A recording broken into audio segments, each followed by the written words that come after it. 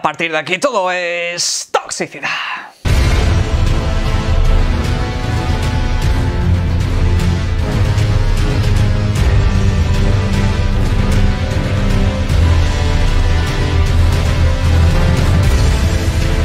Buenas y bienvenidos a este vídeo que yo digo yo que va a ser bastante, bastante calentito.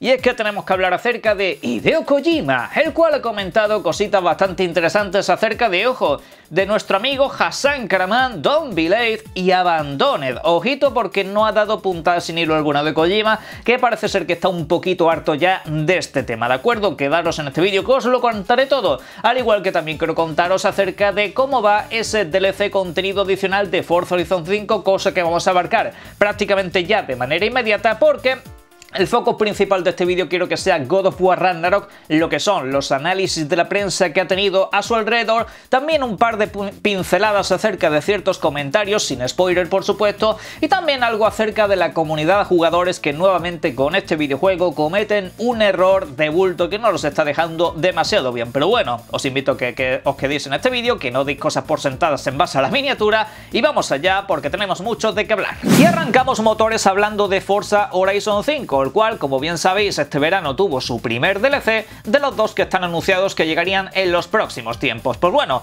tenemos adiciones en cuanto a lo que es el contenido del videojuego en los últimos tiempos, ya sabéis que por el año de lanzamiento y por supuesto también por el año de lo que es la saga Forza Horizon tenemos nuevas historias de Horizon, tenemos nuevos eventos, nuevos cochecitos, etcétera, etcétera, etcétera. Un contenido que es completamente gratuito a diferencia de estos DLCs que obviamente los tienes que pagar por separado.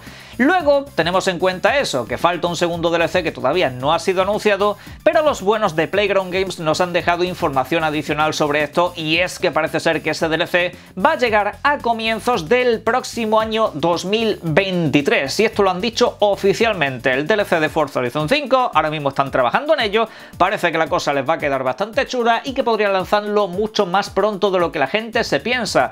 Actualmente pues no hay ninguna fecha estimada de lanzamiento, algunos podían pensar que se lanzase el segundo a lo largo de este año, o que incluso como no ha aparecido en el evento de Xbox más Bethesda en el que se anunciaban los próximos 12 meses, pues pensábamos algunos, incluido yo, que ese DLC llegaría durante la segunda mitad de 2023, pero por lo que comentan los buenos de Playground Games, dicho contenido va a llegar seguramente mucho más pronto de lo que os pensáis, probablemente incluso durante el primer trimestre del año, y no es poca cosa, porque recordad que durante el primer trimestre va a estar Ace of Empires, seguramente esté también por ahí Redfall, luego en primavera llegará Forza Motorsport, luego más adelante debería estar Starfield, Ara, Minecraft, va a ser una auténtica locura de contenido que Microsoft va a tener durante esa primera mitad de año si la cosa sigue así. La pregunta es qué podría ser ese nuevo DLC, aunque a partir de aquí son casi todos especulaciones. Normalmente Forza Horizon suele tener un DLC temático como Lego, Hot Wheels y demás, y luego otro DLC un poquito de mapa más estándar, pero bueno, lo averiguaremos bastante pronto.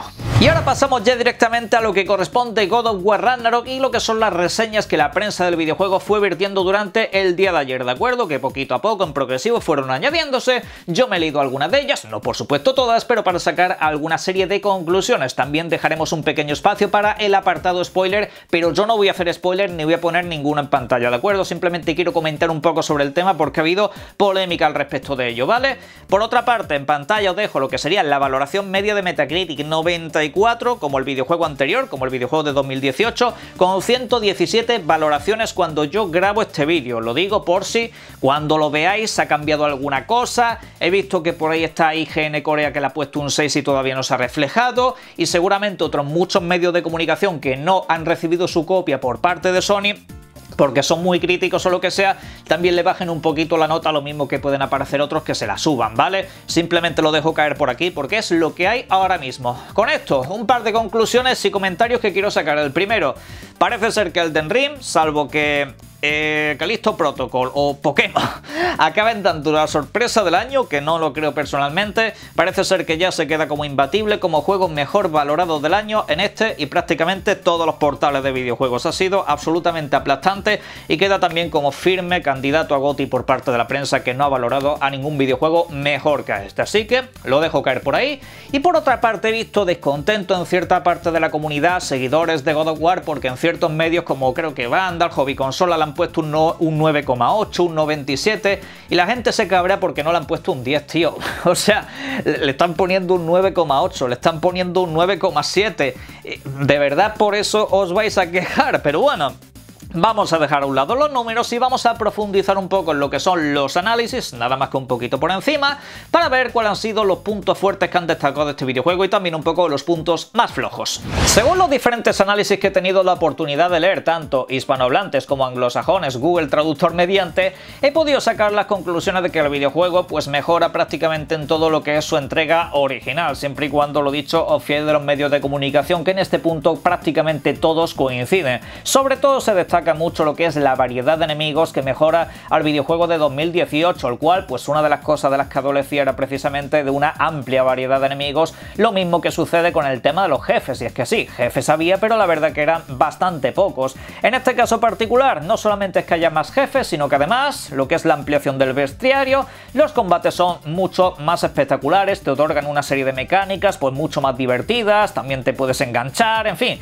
una serie de cosas bastante impresionantes en general. Luego, lo que es el videojuego, pues combina muchas de las cosas que tenía el de 2018 y sobre todo te sigue dando ese cierto margen de libertad, teniendo en cuenta que es un mundo semiabierto, ¿vale? No va a ser un Horizon Forbidden West para que os hagáis una idea, pero sin embargo, lo dicho, tendrá un toque de exploración bastante grande que nos llevará en torno a las 40, 45 horas según nos rezan casi todos los medios en este caso confirmando la información que yo di en este canal, que para pasaros la historia principal, pues alrededor de unas 20, 25 horas, siempre y cuando depende de la habilidad que tengáis o de la dificultad que escojáis.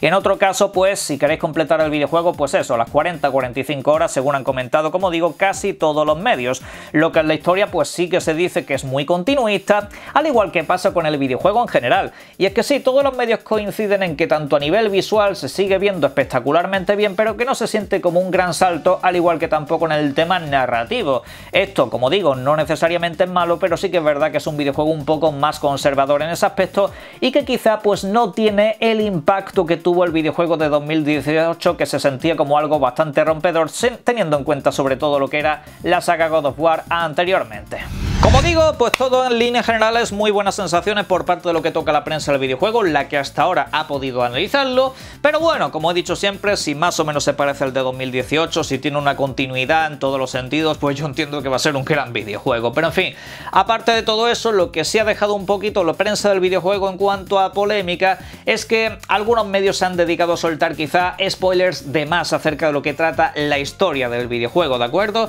Sobre esto quiero hacer una pequeña, pequeña reflexión en esta parte. A ver, yo entiendo eh, que sí, sería molesto sobre todo si la prensa del videojuego te pone el spoiler en portada, en el titular, o te lo pone prácticamente en la primera página o te pone fotos demasiado descaradas. Eso lo puedo llegar a entender. Ahora, personalmente, personalmente, a mí en un videojuego el que me destripa la historia no es lo que más me molesta, es lo primero de todo. Además, la mayoría de los spoilers que yo he leído, porque yo, como precisamente que tengo que dar información en el canal, yo me trago todos los spoilers del incluso todas las filtraciones y cuando salga Starfield, cuando salga Redfall y todo eso, me los voy a tragar absolutamente todos porque es a lo que me dedico, pues entiendo que mucha gente eso no quiere conocerlo. Ahora, también os digo una cosa, en esos spoilers en esos spoilers, sobre todo a través de medios como Atomics, se cuentan unas cosas bastante importantes sobre God of War bastante trascendentales para lo que es la experiencia jugable, que puede decir, a ver, no quiero saber mucho de la historia, es que realmente de la historia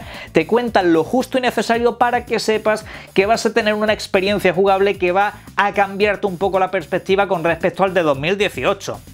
Eso lo tenéis que tener muy presente. O sea, a mí me parece positivo que los medios de comunicación alerten de esta clase de cosas porque son cosas que ni en los trailers ni en las promociones os han enseñado de ninguna de las maneras. Y mucha gente a lo mejor pues luego se lleva el susto y dice hostia pues esto no es lo que me esperaba lo dicho no me parece especialmente mal siempre y cuando se avise. Pero bueno seguimos con más cositas. Por otro lado ya para cerrar lo que es la parte de los análisis seguramente recordaréis que el God of War original hablando del de 2018 por supuesto es un videojuego en el cual había una serie de reinos los cuales no podías visitar estaban completamente cerrados, algunos incluso especularon con que serían DLCs o cositas por el estilo, pero no, sencillamente el videojuego se quedaba ahí, pues en este videojuego visitaremos los nueve reinos, ¿vale? La forma y el tiempo en el que estemos en ellos, por supuesto, no los conozco, no se ha dicho la prensa del videojuego, pero teniendo en cuenta lo que es la duración del mismo, seguramente va a ser lo justo y necesario, no ir y volver 40 veces al mismo sitio, básicamente, ¿de acuerdo? Pero bueno, ya lo veremos. Hasta ahora el videojuego presenta diferentes niveles de dificultad, que ya habéis seguramente visto publicado todos, aunque todavía no se conocen, por ejemplo, lo que es la lista de trofeos y demás, que seguramente os ayude mucho a ver un poco por dónde van los tiros y si el videojuego requerirá pasárselo en una dificultad en específico. Pero bueno, pinta la cosa bastante bien para God of War y ya veremos a lo largo de los próximos días cuando se ponga a la venta si acaba convenciendo a todo el mundo. Cabe recordar que es un videojuego intergeneracional, podréis disfrutarlo en PlayStation 4 al igual que en PlayStation 5. Actualmente se sabe que se está desarrollando una versión para PC, pero eso todavía no se sabe cuándo acabará llegando también lo tendréis. Ahora pasamos a otro bloque, al cual incluso me había apetecido dedicarle un pequeño vídeo, pero bueno, no quiero calentar demasiado la cabeza con este tema porque ya va un poco más a lo que toca en la parte de la comunidad. Y es que sí, God of War Ragnarok está recibiendo buenas reseñas por parte de la prensa, hay mucho hype por parte del público, parece que el videojuego tiene unas reservas apoteósicas, pero a algunos no se les ocurre otra cosa que hacer lo que estáis viendo en pantalla. Sale God of War, hype por las nubes, ¿qué hago? Acordarme de Xbox. Bien, bien, no, está, está bastante bien. Está bastante bien, no voy a decir eh, cómo se le llama este síndrome, ¿vale? No voy a decir cómo se le llama este síndrome. Pero es que la cosa va todavía un paso más allá. Un paso más allá. No se acuerdan en el sentido de Microsoft no tiene juegos, no. Sino que algunos, como estáis viendo en imagen, no han tenido otra cosa mejor que hacer que comparar God of War Ragnarok con Pentiment. Agarraos los machos. Pues sí, bueno gente, la verdad que es bastante triste, bastante lamentable, bastante surrealista que ahora mismo me estén comparando a dos videojuegos que son completamente distintos, que tienen conceptos completamente diferenciados, para intentar ver cuál es mejor uno que otro diciendo pues que mira, estos son los exclusivos de Sony PlayStation y estos son los exclusivos de Microsoft en cuanto a lo que es la calidad y esa clase de cosas. Lo primero, por supuesto, Microsoft con Pentiment no nos está ofreciendo ese gran juego de final de año, que podía haber sido pues un Redfall, un Starfield o un Forza Motorsport, aunque este último no tenía fecha de lanzamiento para este año, pero en el caso de Starfield de hecho hay algunas lenguas que están diciendo que Starfield se retrasó por culpa de God of War Ragnarok para no encontrarse con él por el camino, cuando la realidad es que Starfield se retrasa antes de que God of War Ragnarok tuviese siquiera alguna fecha para lo que queda de año, así que no, ese argumento por supuesto no casa con la realidad. Pero lo que no casa con la realidad, al menos en una mente racional, es comparar estos dos videojuegos, sobre todo por lo que vamos a comentar.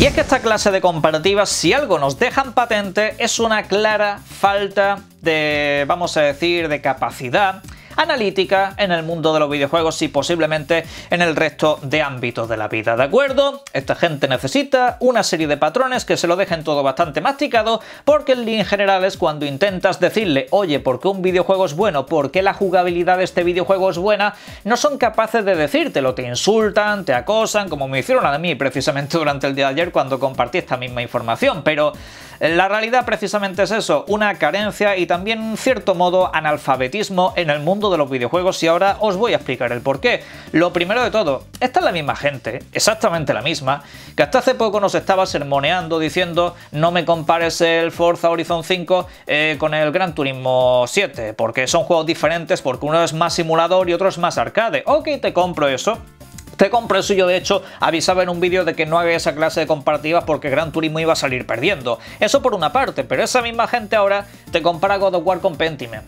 O sea, aquí ya es que ni siquiera es mantener tu propio argumentario, sencillamente es una ausencia total y absoluta de personalidad. Precisamente una de las cosas que caracterizan a toda esta gente es eh, que todo lo basan en las notas de la prensa.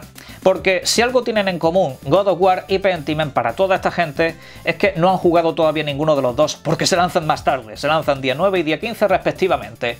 No han jugado estos videojuegos y sin embargo ya los, los juzgan, ¿sabéis por qué? No solamente por el tema de la nota, Pentiment hasta ahora todavía no la tiene, pero por los gráficos. Lo que digo siempre, el argumento del vago. No sé analizar un videojuego, pues sencillamente me remito a los gráficos. Digo, es que este videojuego se ve mejor. Mira los gráficos, mira los gráficos. Todo eso está muy bien. Rise of se ve estupendamente. Y no es un grandísimo videojuego. Lo mismo que tampoco lo es de Order, pero tiene muy buenos gráficos. Aquí la realidad es que el analfabetismo también juega su pequeña baza, y es que Santa Mónica Studio cuenta con cientos de desarrolladores, cientos que han estado en God of War Ragnarok, más otros 8 estudios de desarrollo que han estado codo con codo trabajando con Santa Mónica, estudios de apoyo. Total, Santa Mónica y otros 8 estudios digamos que son bastantes cientos de personas, ¿verdad? En Pentiment han estado un total de 13. 13 personas han estado trabajando en Pentiment. Ya sabéis que Obsidian tenía un equipo pequeño de 10 trabajando en Grounded y otro equipo más grande que ya está trabajando los AAA, que son Abowed y también eh, The Outer World 2. Pero eso, claro, hay que conocer un poco de lo que es el mundo de los videojuegos, no ser tan simplistas los análisis como decir es que este videojuego se ve gráficamente mejor que el otro. Yo creo que los análisis hay que intentar profundizarlos un poquito más porque menuda cantidad de obras maestras os estáis perdiendo mucho por culpa de este simplismo. Y para cerrar os voy a decir lo que ha dicho Hideo Kojima acerca de las palabras de Hassan Karaman, de Abandoned y de todo esto que ha sucedido en los últimos tiempos. Nunca he hablado con Hassan. Palabras de Hideo Kojima. Nunca he hablado con Hassan. No creo que haya mucho que pueda hacer o decir en este momento. Pero si lanza el juego, entonces la gente podría entenderlo, así que tal vez debería apresurarse y lanzarlo. Además, no estoy involucrado en esto de ninguna manera. No sé quién empezó este rumor, pero creo que está basado en usuarios, deseos y esperanzas. Así que, Hassan, estoy seguro de que las cosas no fueron fáciles. Pero ahora que ha habido un revuelo y las cosas han vuelto virales, deberías aprovecharlo si creas algo bueno y lo compartes con todo el mundo. Entonces nos, entendemos, nos enteraremos de la verdad. Creo que esto es lo que deberías de hacer, no es Silent Hill y yo no estoy involucrado en este proyecto, descargando que Hideo Kojima estuviese detrás de Abandoned en algún momento. Aquí el chiste fácil sería decir, Kojima, no nos hagas esto. Kojima lo ha hecho.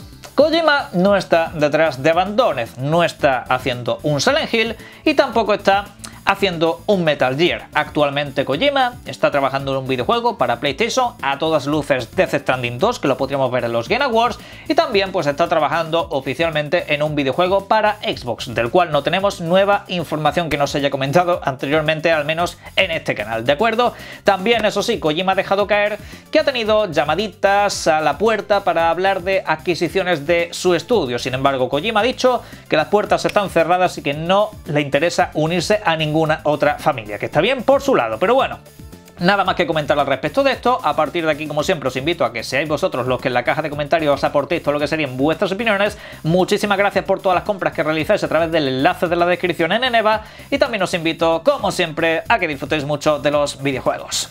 Un saludo.